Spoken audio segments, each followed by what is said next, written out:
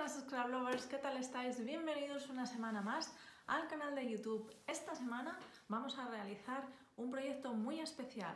Además, todas las instrucciones sobre este proyecto y cómo participar en él lo tenéis en mi feed de Instagram. Así que ya sabes, si quieres saber cómo participar en este reto y poder colaborar con una Navidad de ilusión, vete a mi perfil de Instagram, donde allí te cuento todo lo que tienes que hacer para participar en este reto. Ahora sí, voy a enseñarte cómo ha quedado el proyecto que yo he realizado. He alterado esta caja que tenía por casa, la verdad, la tenía guardada desde hace mucho y bueno, pues mira, me ha llegado la, oportunidad de hacer algo con ella y creo que ha quedado bastante, bastante bonita. Eh, en la parte interior he puesto un papel también de la misma colección con con la que he estado trabajando en el exterior, que es la colección Diva de Ave Studio. Y bueno, tiene un montoncito de elementos, es muy mix mediana, así que si te interesa y te gusta el resultado, quédate que empezamos.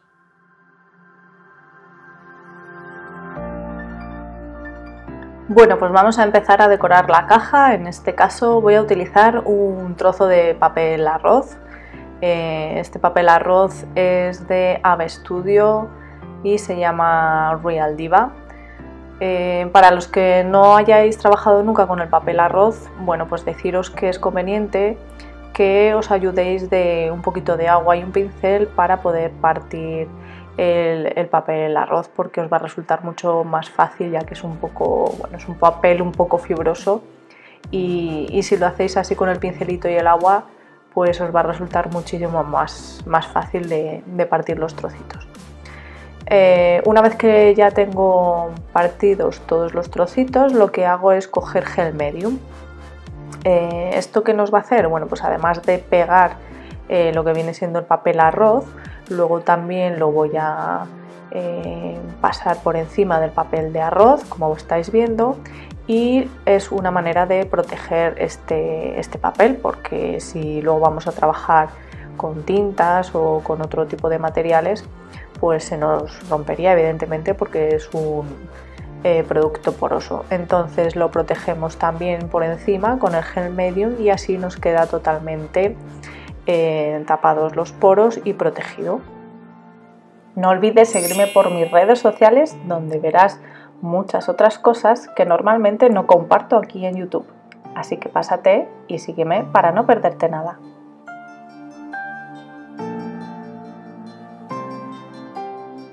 Repito el mismo proceso que acabo de hacer con la caja en la parte de la tapa.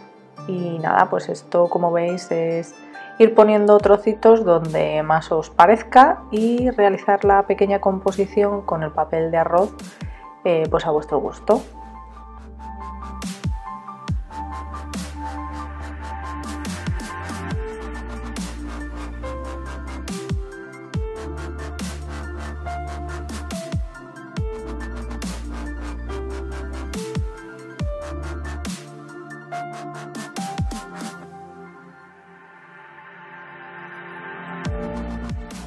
Una vez que ya tengo seco el papel de arroz y el gel medium, ahora voy a coger un stencil y esta pasta de textura, que es la pasta de textura de papel que me gusta muchísimo, es de Finaver. Y me gusta muchísimo porque es muy porosa y da un resultado súper súper bonito y es muy fácil de, mezclar con, los colores. A mí es una de las pastas que, que más me gusta, esta y la de craquelar, la verdad. Como veis no estoy utilizando el stencil por completo, sino que lo utilizo por zonas y ahora me ayudo con la espátula aplicando un poquito más de pasta de textura y eh, extendiendo por, algunas zonas eh, parte del stencil que ya tenía colocado, pues le voy como, como rompiendo un poco, ¿no?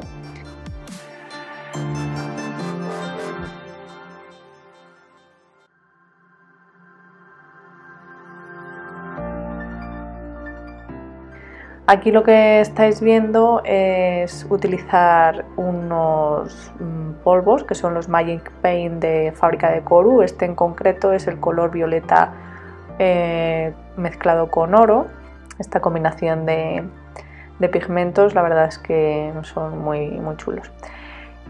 Por cierto, no olvides suscribirte y darte una vueltita por el canal, que seguro que ves algún otro vídeo que te interesa. Y ahora se me ha ocurrido, pues bueno, que voy a coger un poco de tela, como veis la rompo en tiras, voy a utilizar el mismo pigmento que antes, el Magic Paint de fábrica de Coru y voy a teñir las telas.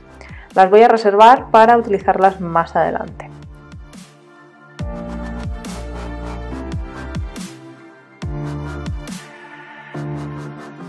Ahora voy a coger unos sellos y voy a ir sellándolos tanto por la caja como por la tapa e ir creando más interés en el fondo de mi proyecto. Voy a utilizar también un sello de texto que no puede faltar en mis trabajos y poco a poco pues le vamos dando más textura con diferentes productos.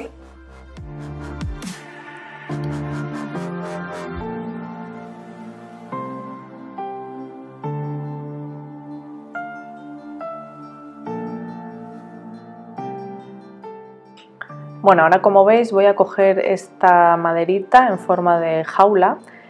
Eh, es de la marca Artístico y me gusta muchísimo porque son muy resistentes y gorditas, lo cual pues bueno, te facilita el trabajo y puedes utilizar diferentes técnicas eh, con ellas. Ahora mismo estoy utilizando la técnica del embossing y estoy utilizando uno de los últimos eh, polvos de embossing de Lindis. Ya sabéis que estos polvos de embossing tienen mucha textura y muchas partículas y quedan, mirar, súper, súper bonitos.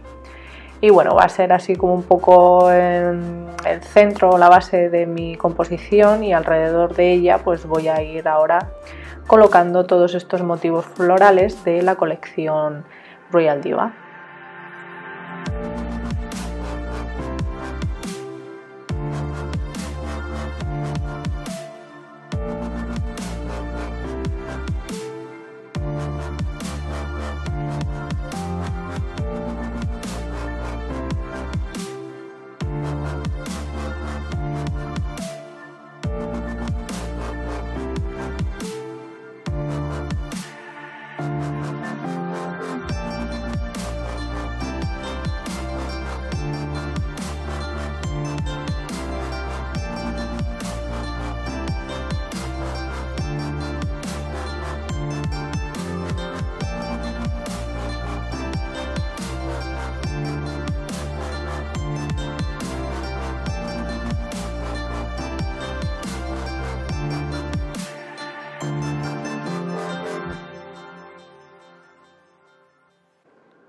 Como veis voy utilizando diferentes elementos para crear la composición, entre ellos pues bueno, estas, mm, no sé cómo llamarlos, pertenece a esta ramita que veis ahí em, en el margen izquierdo, que es como una especie así de ramitas con, con esas cositas blancas. Y bueno, pues las estoy partiendo y las estoy metiendo por ahí entre la composición floral que creo que quedan muy chulas. Y, nada, pues voy a, crear otra pequeñita composición ahí arriba para que no quede así como tan vacío por ahí. Y, nada, poco más. Voy a coger también eh, la palabra smile que veis aquí, que también es de la marca artístico, y la voy a embosar.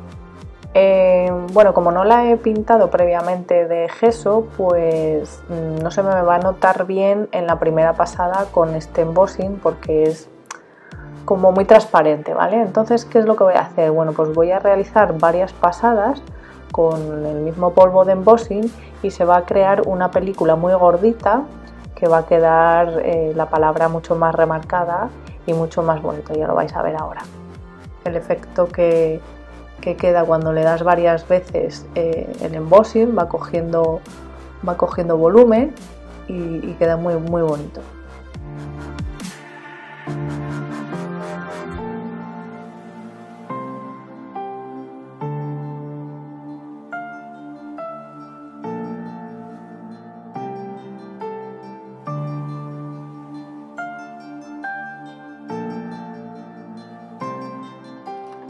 Y nada, ya voy rematando el proyectico, voy a ir metiendo pues algún adornito más para, para ya finalizar. Voy a utilizar estos elementos metálicos de Finaver y luego también voy a utilizar los eh, melange diamante, que son también de Finaver.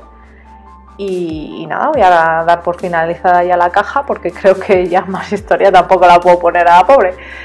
Así, mira, voy a utilizar esta cera también, que es la mm, de color amatista, creo que es. Bueno, lo voy a dejar todo linkado de todas maneras en la cajita de descripción para darle unos toquecitos por ahí y, poco más. Voy a utilizar también estas em, micro, micro bolitas, las micro bits de, de Finaver también, en un color así como lo rosa. Em, y ya está poco más. Ya eh, voy finiquitando el asunto. Esto ya sabéis que es ir metiendo todo lo que queráis y todo lo que os acepte el proyecto y dependiendo del estilo que seáis, claro, porque bueno, pues hay gente que le gusta mucho más sencillo y bueno, pues hay otros eh, que no nos cansamos de meter y meter cosas.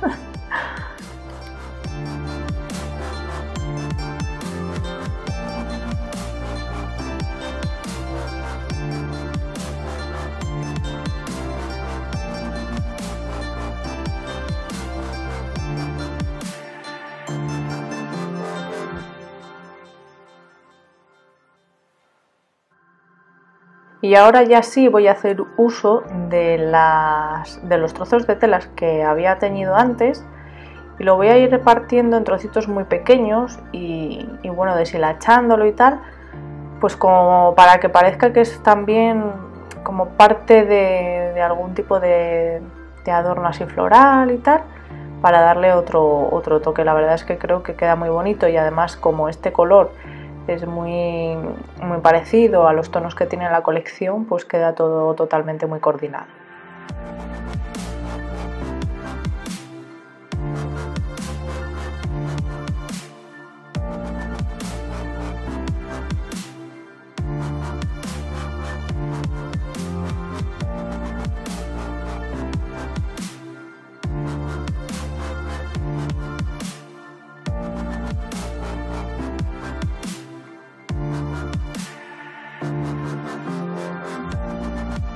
Bueno, pues ya veis cómo ha quedado el proyecto de hoy, muy Miss Mediero a tope y es una manera de, bueno, pues daros ideas, de inspiraros, sobre todo si vais a participar en el reto que, como ya os he dicho, tenemos activo por Instagram para ayudar a una Navidad de ilusión.